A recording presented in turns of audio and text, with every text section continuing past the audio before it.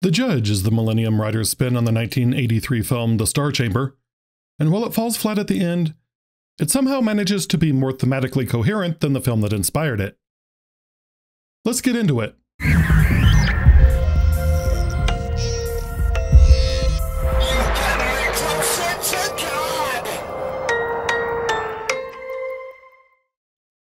At a bowling alley, a rando creep stalks one of the gluttonous patrons. After the patron is finished with his meal, the stalker follows him to the parking lot with a bowling ball and... Days later, an innocent woman receives a severed human tongue in the mail. Man Temu is really stepping up its game. There seems to be no rhyme or reason as to why the woman received the tongue. But Frank and Bob Bletcher recall a case in which severed fingers were sent to an unsuspecting person. In both cases, the rest of the body was never found which Frank theorizes means that the killer is taking care to dispose of the body. We're introduced to Cheryl Andrews, a forensic pathologist for the group, played by the always fantastic CCH Pounder. In examining the tongue, Andrews surmises that the killer wasn't particularly careful in carving it out. Frank says this is a deviation, but he doubts that the killer is going to stop. As if on cue, we're introduced to the judge, played by Marshall Bell, and recently released convict Mike Bardale, played by John Hawkes. I think we can all agree that the casting director deserved a raise based on this show's guest stars alone. Bardale thinks the judge is hitting on him at the local bar, but instead the judge just admires Bardale for being willing to take human lives as he sees fit. He offers a trade. Bardale comes to work for him, and in exchange, Bardale gets to stay out of prison. It turns out a position with the judge has just opened up because Neerman, the sweaty stalker from the cold open, didn't kill his victim in the proper fashion and may also have been drunk. The judge has Bardale execute Neerman as his first act. A break in the case comes from, of all people, Catherine.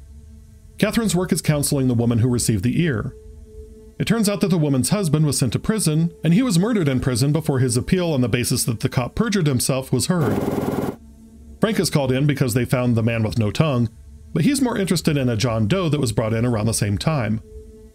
Frank tells Seattle PD, much to their dismay, that the two bodies are connected. Because Frank. Of course, Frank is right.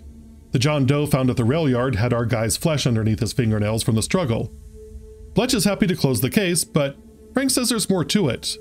And you can just see that, damn it, Frank, more paperwork look on Bletch's face.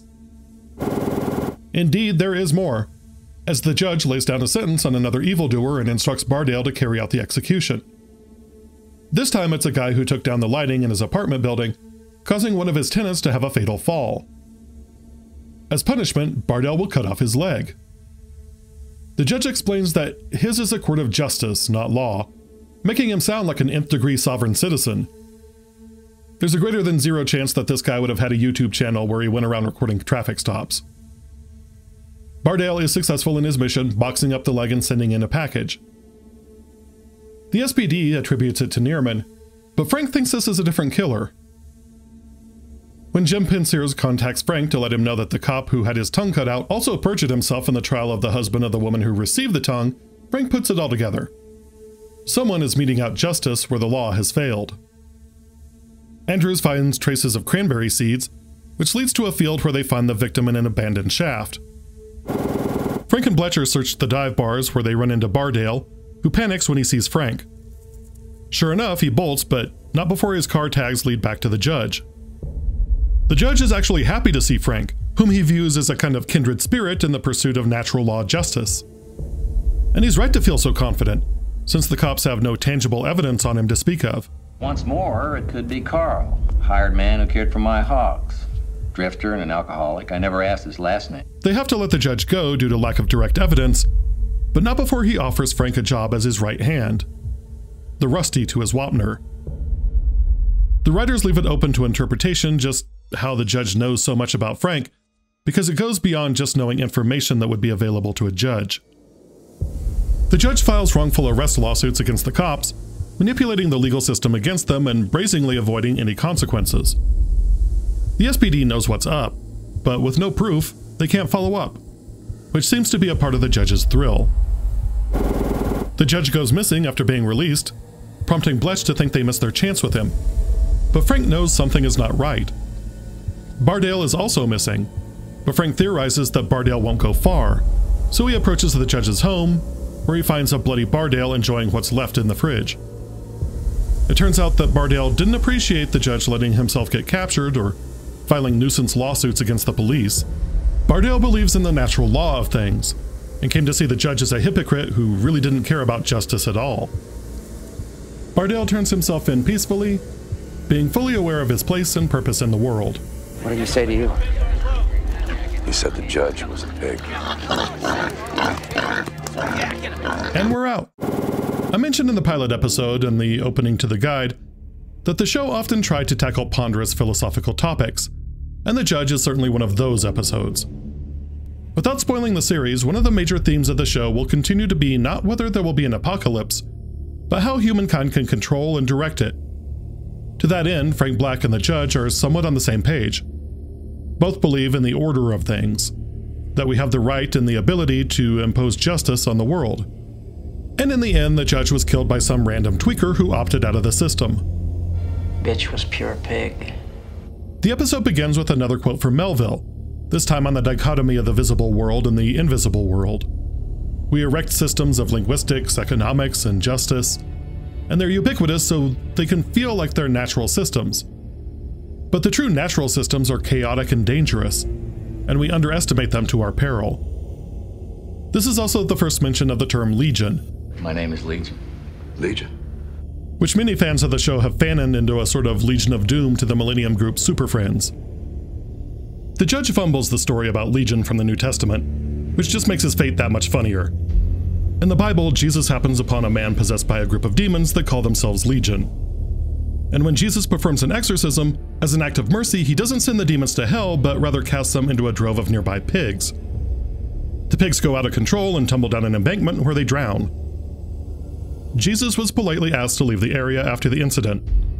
Here, the judge says that Jesus was actually curing the pigs, not the man, which seems to be a subtle intentional error on the part of the writers because the judge carries on with delusions of grandeur, promising that if Frank comes to work for him, he and his family will be safe because the Bardales of the world fear him. All of this points to the judge not knowing how the world really works. I have to get into some mild spoilers here, but one of the show's issues is that it wants to be seven, but every week, and it stretches credulity. Not to mention the patience of the audience, if Frank Black is just catching a religious serial killer every episode. Chris Carter wanted to be more ambitious than that, couching Frank's struggle with the darkness inside himself and the darkness he sees in the world, balanced against the yellow house, which represents light in the world. Family, love, and faith in the basic goodness of people. But that still leaves the problem of what do you do every week? So many of the episodes tease spilling over into the supernatural. Gehenna, for example, implied that the villain Ricardo Clement was demonic in nature, pure evil rather than created by social ills. To sort of goose the lore along, fans began connecting these elements of evil as if they were not isolated incidents, but part of a larger effort to corrupt mankind, sow discord, and bring about chaos. Some fans insist these forces are working together, like an organization with a hierarchy. Others think of it as an ideology that guides them, like Antifa, not centralized, but bound by a common ethos. Whatever the intent, the judge mentions Legion here, and that idea really starts to gel late in the season, so I thought I'd bring it up. Anyway, this episode is a good example of what made the show interesting in the early season. It's got a strong sense of theme, and the performances by the guest stars put it over the top as a great episode for me. John Hawkes might have been typecast over his career, but he always manages to bring a quiet, simmering intelligence to his portrayal of Bumpkins. And of course, character actor Marshall Bell brings his brand of frustrated high school principal energy to every role he plays. Like Hawkes, he may be stuck in one lane, but he's going full throttle. Another thing this episode has going for it is the appropriateness of the tone when measured against that of the show. That's something I can't say about the next episode.